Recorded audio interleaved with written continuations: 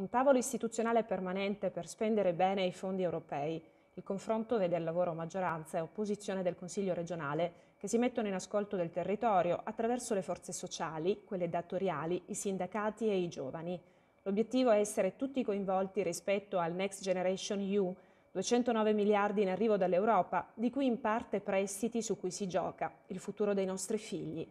È fondamentale che tutti collaborino nella organizzazione della programmazione di questi fondi. Ovviamente non sappiamo come il governo Draghi riuscirà a coinvolgere le regioni, se ci coinvolgerà, ma noi vogliamo essere pronti. Il tavolo ha già visto la partecipazione dei comuni e delle province a seguire le forze economiche, poi sarà la volta dei giovani del Consiglio. Tre, le cose da tenere bene a mente, ha sottolineato il presidente dei Confindustriali, Sergio Fontana.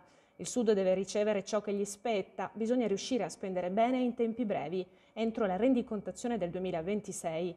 Tra i banchi di prova la sfida della sostenibilità ambientale con l'ILVA e Cerano. Il bello di questo processo è che alla fine non saranno le idee della Presidente o le idee della Giunta o le idee del singolo consigliere saranno le idee che verranno fuori da tutto il confronto e che sicuramente punteranno ad avere, eh, come dire, il massimo degli obiettivi raggiungibili nelle sei direttrici stabilite dalla Commissione europea che vanno dalla coesione sociale e territoriale alle riforme per la semplificazione della burocrazia fino ad arrivare alla digitalizzazione e alla transizione verde cosiddetta. Insomma, una grande opportunità per lottare contro la povertà, per dare alle future generazioni una prospettiva vera di minore eh, precarietà e per essere, come dire, eh, connessi con eh, le migliori tecnologie e rispettando l'ambiente con tutto il mondo.